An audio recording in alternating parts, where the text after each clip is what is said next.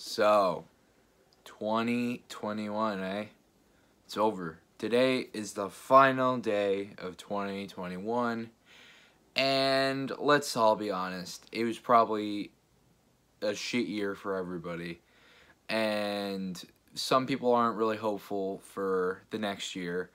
And I actually found this really funny uh, meme. Uh, I'll see if I can find it. You can see it on screen now if I could. But it's it's if 20 uh, when you realize 2022 is spelled 2022 like a second version of 2020 and i found that funny and hilarious because it probably is going to be but i have one better for you. 2021 i'll give you a second to figure it out. All right 2021 2021 over everybody which definitely was the case for me this year this has definitely been the worst year of my life. And I'm not here to really complain. I'm just here to share my experiences and finally come out to the public about a lot of things going on with me and and like how I felt this year and just like I don't know if anyone can like take some good advice from here and and help themselves, I'd really appreciate that. But yeah. I'm probably going to make some jokes, so don't take it too seriously. I go through all these things and everything. I'm just making jokes to be a little more lighthearted because I really don't want to, like, go too hard and, you know, I'm going to have a breakdown like this picture right here. And we're going to talk about that later, but yeah. Without further ado, let's just begin. So 2020, when it... 2021, when it began, you know, I was just kind of hopeful for the future. Obviously, in my first ever video, I was talking about like stuff I'm hoping for in the future of 2021. I was hoping, I was like planning myself on YouTube and on myself. Clean 2021. Obviously, that didn't fucking work. From clearly that. Um, it didn't work. I didn't I wasn't clean this year at all. I was very very dirty. And um yeah, it's it was uh yeah, I was like very hopeful for everything and stuff. And as the days kept going on, I was like okay, but I felt a rapid decrease in feeling motivation for anything really because um, you can clearly see I took a three week break and everything. Even when I got this ring light right here, I took a three week break back in January and I wasn't very excited or hopeful for anything anymore. I just felt like an underwhelming like bottom of the iceberg instead of being on the top and or I don't know if that's a good analogy, but anyways, you get the point. Um, I felt not very good at all, and and um, you know, I was I was off and on, but what I didn't realize was my behavior was getting worse. So when I decided to like make this whole skit centering around Naruto stickers, and the video's still up. I'll leave it up. It, it, was a mistake that I'm going to remember forever, and that's why I'm gonna keep that. Um, when I made that Naruto sticker skit, I just felt myself rapidly deteriorating, and I and I like obviously burned the stickers. Um, that got me into a tiny fight with my parents. Surprisingly, not bigger than I thought. Almost burning the house down and everything. I say I'm a professional, but I'm definitely not. And I still regret that. But then a couple days after that, I made quite a big mistake with my friends, and this just canceled everything for a month. I was grounded for a month because of this mistake with my friend. I pulled this really shitty prank on my counselor, and my, like my old counselor, by the way, so it was stupid and useless and I got in trouble for it. And um for that month, I was like all right. I felt myself getting a little bit better, And when I came to YouTube back in February, I felt fine and honestly um I felt really good. Kind of. You know, or no, was it February? No, it was March. Yeah, it was March. When I came back in March, I was really happy kind of and I was getting my grades back on track and I was doing okay. And in a month um, I'd be able to you know go back to school. So I came back to YouTube and I was pretty happy and I was doing some stuff. I was off and on and um there was an underwhelming feeling though that kept rapidly decreasing the more I made mistakes that I noticed and I always kind of felt this and I think everybody feels it so as as I kept going on, I felt that feeling increase more and more, especially when I was alone and I was like something isn't right. And then in April, um it got to a point where I realized I was very depressed and and like self-harming myself mentally and I just kept beating myself up over and over again and I kept feeling like the world hated me. And whenever I went to people nobody responded. I just wanted to talk to a friend about something. And you know I was talking to my friends here and there but one one friend I really wanted to talk to but she never answered and that was one of the things that fucked with me the most because I know she struggled with depression and when I was going through everything and realizing I sort of had it, I came to her for help even in my lowest time where I um actually self-harmed myself. It was the worst time of my life and I really regret doing it still. And um I don't know, I just, getting that low made me realize that I truly had a problem and, and, um, yeah, I, after I did it the first time, I came to that same person because I trusted her the most and I asked her for help and everything. Um, I didn't go to Michael even though I told him like I was feeling really down I didn't go to him saying that I self-harm myself because I know he would tell tell my parents and everything. Um, because he cares about me and I care about him, and he was the he's definitely the one person who's got me through this year. So thank you, Michael.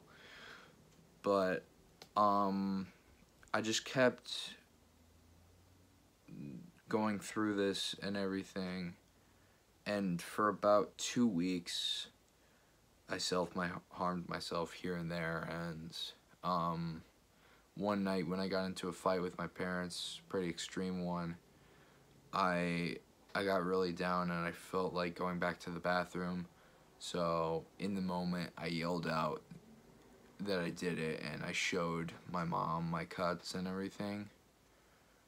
And it was sort of just a silence of a moment. And um since it was April, I was about a week or so away from going back to school. And me and Michael and my parents had a talk that I should probably go get some help. So I took, I don't know who it was. It was either me or Michael. It was probably me. I, I don't remember. I don't remember who it was, but I'm pretty sure Michael may have emailed the counselor and everything.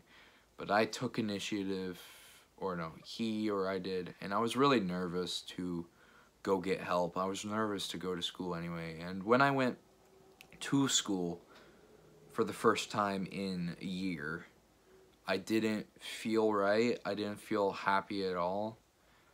And I just kept feeling like it was a hassle I had to go through and I'll never recover from. Like this is my big start. This is everything. And I felt like I was fucking up because already I wasn't happy. It's a new start for me and I felt the lowest I have ever felt in my life. But I did go get some help with the school counselor, and for a while I talked with her every day before she suggested uh, therapy, or not every day, like every, actually, yeah, probably every day. And um, so I was getting that arranged, and eventually I did get therapy. Um, and I'm still getting therapy and everything, and I'm happy with that. And um, my therapist is amazing. Um, you know, she and I get along very well. But in those first weeks, I just felt, I don't know, a lot telling my stories and stuff. But it was a lot I like to get off my chest. And since it was a professional, I liked to talk about it and everything. So, yeah, after that, I felt like I was getting a little better slowly and surely.